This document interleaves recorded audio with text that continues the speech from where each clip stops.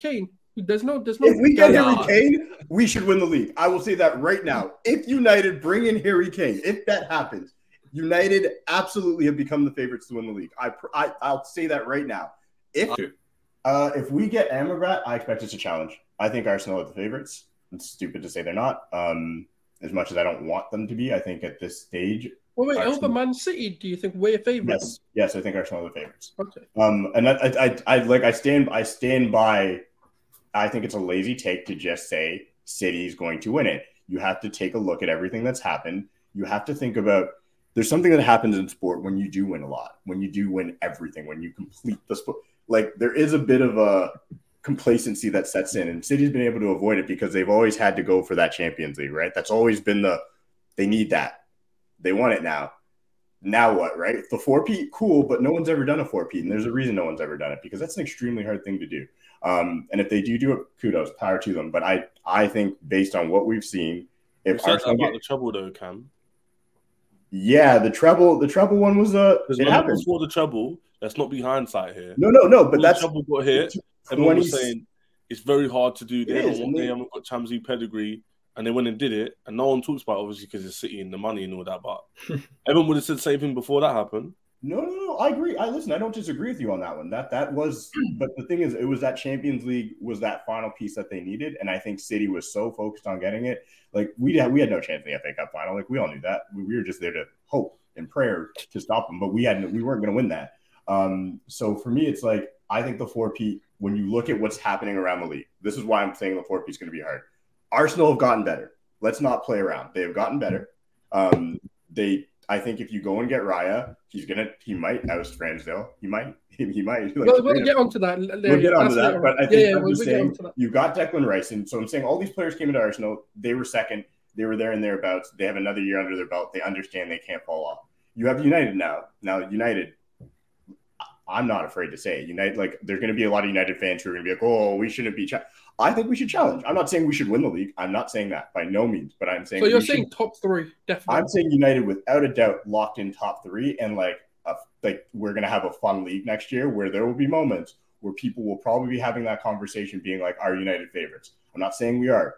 I'm being very clear on my statement here. Challenging does not mean I'm saying United is going to win the league. I'm saying you're going to see a team that's going to score more goals that now if Casemiro goes out and we get Sofyan Amrabat, there's no stress there. I'm not sitting there being like, okay, well, Scott, hmm. Fred, good luck. go, good luck. Like we're, you know, when you have when you have a player like Casemiro go out for seven games, and basically each one of those seven games we we thought we have no chance of winning now. If Sofyan Amrabat comes in, there's no for me. It's like yes, there's a drop off, but it's not significant. If Bruno one, one over now. It's been 30 minutes.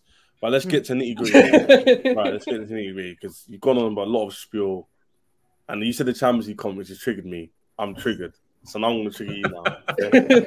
Right, ready? What? So you won the what? You won the League Cup last year. How many yep. points you behind Arsenal? I think you were nine points behind Arsenal. Um, 12 points, 14, 13 points behind City. Yep. So you believe you can close that gap, right? I believe we can. Don't you need to improve on that from last season? I don't think getting just top three is good enough for you lot. I, I don't think... care how it happens. You've got you have to at least in my if Arsenal expectation is to go far in the Champions League and to win the league slash compete for the league. Yours, mm. if you get Amrabat, should be obviously compete for the league, but also in the Champions League, you guys have pedigree in the Champions League. So yeah. I don't see why there's like some like oh if we get top three in challenge. We haven't been in the Champions League properly for like how long? Like let's not we have yeah. pedigree, but like I'm but to be fair, Chess, he don't, don't forget that he has right No, but you know um, people say Arsenal can't do it because they haven't got the pedigree and it's a big jump. Man yeah, but Chess, so to, to, challenge for both the league and the UCL, that's a big ask. That's a huge for ask. for the especially when Ten has an event. He's been there only for one season. Like, I'll tell you, that's a completely different scenario. He's been there for now how long? He's been there for just yeah, and he's been there for. But, but I do remember, I do remember, Cam, not necessarily you, mm. but there were certain other Man United fans who, when City, when United beat City, they were like, "We're challenging this season last year." I'm saying. And then, that, and then, and then hey, hey, hey, also, also, also, yeah, also, this Baldy yeah needs to get more, more flipping Yeah, the man's been been, been a manager for ten seasons. Come on, we gotta be putting more pressure on him. No, no, no, you don't have. No, here's the thing. Okay, I don't. This whole gets away I, with this, man. I, I find this hilarious because now that okay, we've signed some players, we had it's all of a sudden put all. This, no, no, no, no, no, no. Yo, Cam, Cam, I agree with you. 400, 400 million ish. That's not the right number. Since it's three hundred and sixty something. All right, but it will be 400. Let's be real. It's going to be like 400 million by the by the end of the summer. Hmm. Okay, so I lo- I enjoy it. Like this me this is how I know we're back because all of you are all of a sudden saying we have you don't it's year two.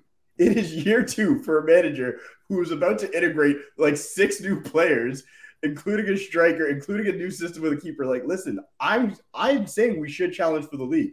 I'm not about to go say now we should go challenge for Champions League, the league, win. No, no, no, no, But, uh, but, but you should get further down. You should get like yeah. Cam, the way you're talking is like, oh, if you just compete, that's enough. In the that's, oh, but that is for, but for me, that is success. Listen, we made it to the FA Cup final last year. We made it to the league. We won the League Cup.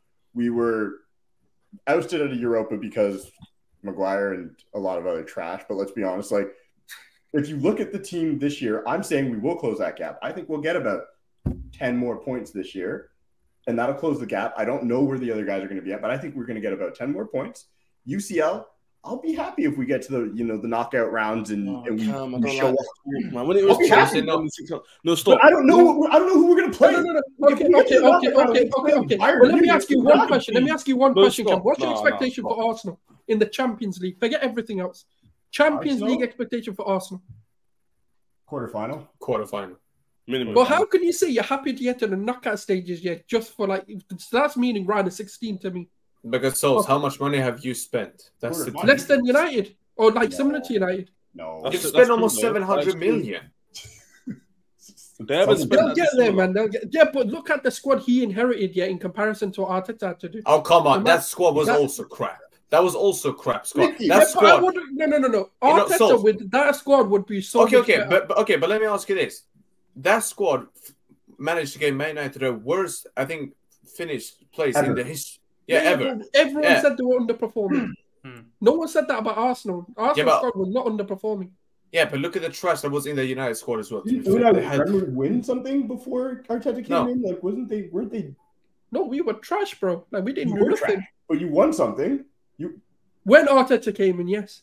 That's because he's generational, isn't it? That's a different conversation. Oh, oh you oh, about so, generate. Oh, about generation. I'm sure you are. Anyways, we're, move, we're moving, we're moving yeah, slightly yeah, away. But my, my point sure was you Arteta out at some point. This is not. Like, no, no, no. I was okay. So there you go. If he's a oh. generational manager, then you should have more pressure. I was Arteta out for sure. I know he was.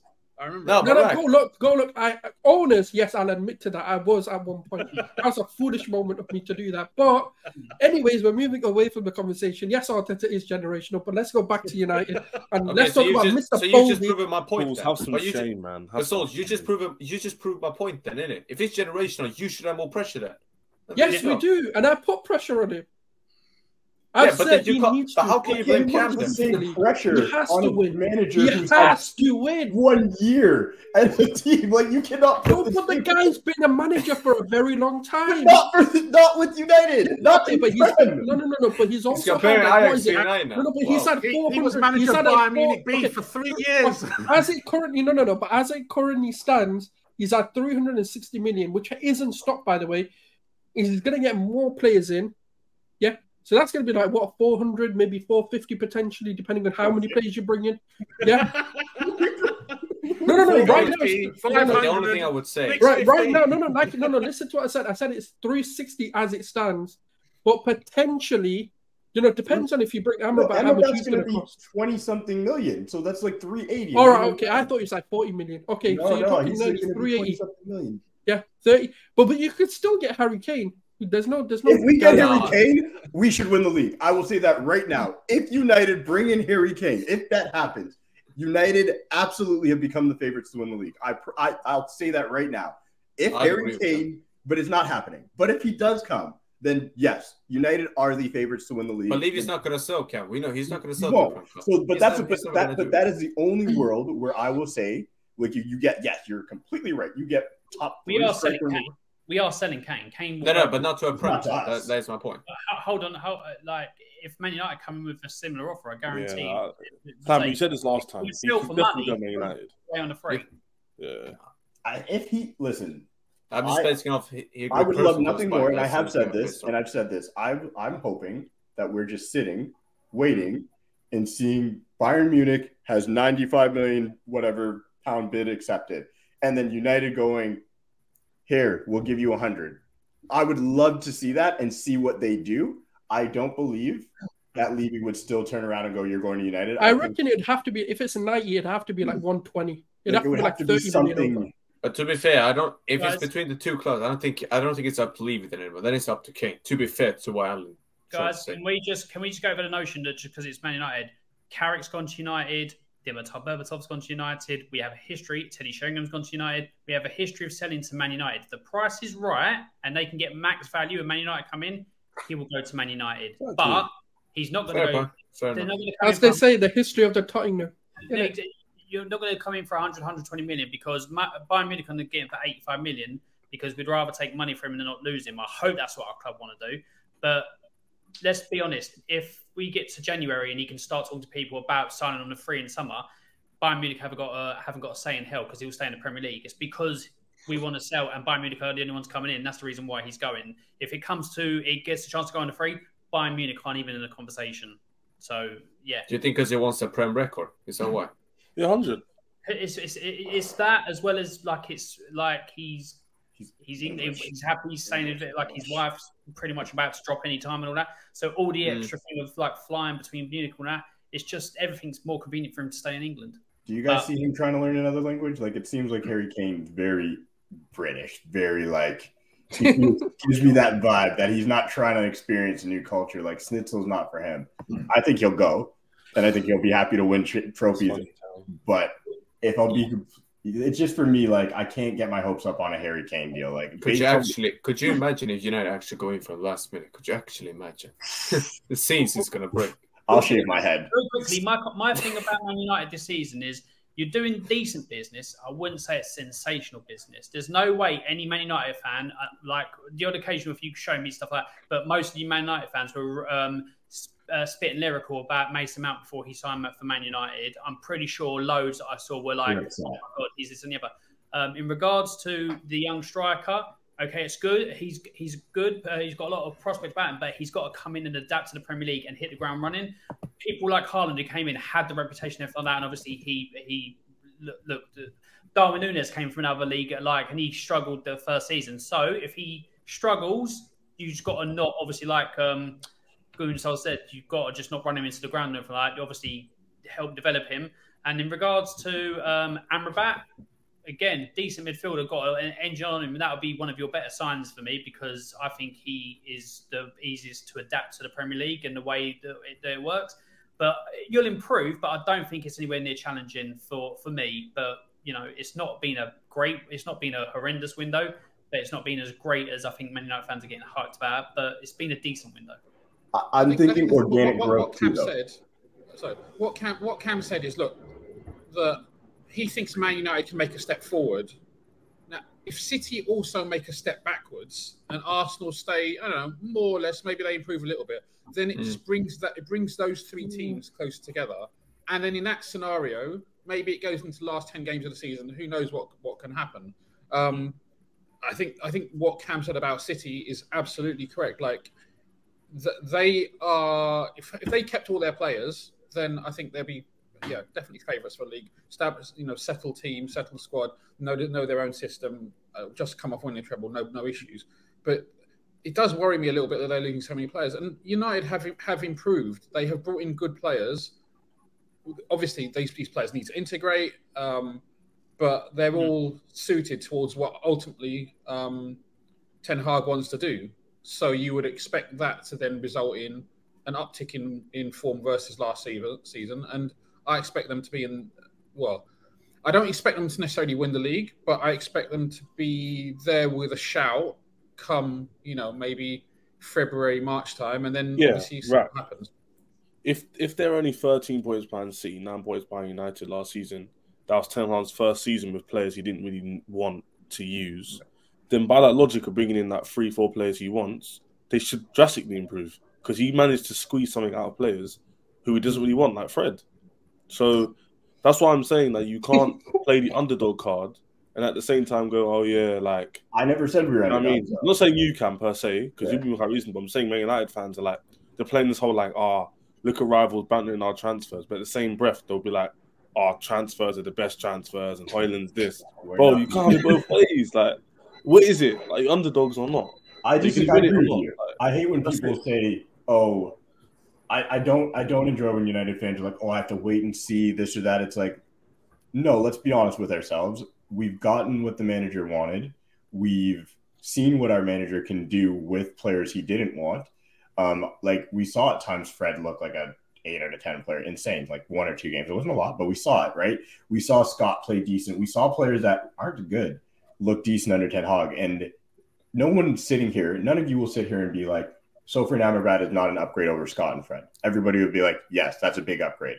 The fact that and uh, McFred is pretty decent. I think you should keep him. I think I think the the fact that you look at where we weren't good last year was in those weird away games to teams that kind of sat back on us. We couldn't really break down. Our top six record was phenomenal. Like we beat everybody in the top six. That wasn't what hurt us. And our home record was phenomenal. So where we need to get better is against some of these smaller teams away.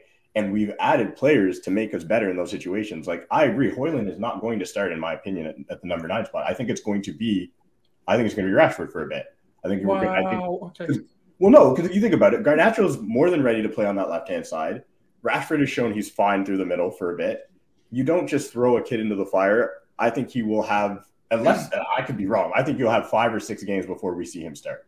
To personally. be fair, he, he started Antony. He started playing Antony straight away. To be fair, that's different. He was very he was very like he knew him. That was his guy. Antony is like Eric Ten Hag's that he's a teacher's pet. He loves him. Like he, I think Antony needed to be dropped a few times last year, and Ten Hag was like, I'm not going to do it. So I think you're right. I think it's a very big, but I think it's a very big difference between an Antony who is 22, 23, played with the manager before, been in big games, versus Højlund, who has yes played in the Champions League and he's been great for, great for Denmark. He's only 20 years old. We got to see what he's going to do. So Garnacho is more. Hey, look at this. This guy's an op right here. So he's one of those United, United fans who come out here and say, "Oh, we're we still don't know what's going on. I can't make any predictions. I don't know." The, like, nah, big up Steffi. Steffi's a fence sitter and a half. Nah, big up Steffi. No, no, I, I genuinely think Rasmus comes in. my guy, but he's a fence. That's because see that he said he doesn't want to get no, no, but he doesn't want to get clipped. That's why he's not saying it right. I'm now. never worried about guys. Years ago, I said that Rashford would be being talked about as one of the top like uh, forwards in the world on a stream, and I got clipped up. Everyone made fun of me, and then Rashford did what? Dropped 30 goals, carried us into a chili. Nah, like sometimes you make these claims and then you end up being right, and it's better. It feels nicer to be clipped up. I'm not afraid True. of being clipped up. But anyway, I want to talk about Arsenal a bit. Yes, ladies and gentlemen, I hope you enjoyed that video on Egal Talks Football. Let me know what you guys think in the comment section about what you just watched. And also, if you haven't already subscribed to the channel, we're on the road to 25K. And let's try to get to at least 30K maybe by the end of next season. And as of right now, I bid you guys adieu. But don't forget to leave a comment and let me know what you guys think.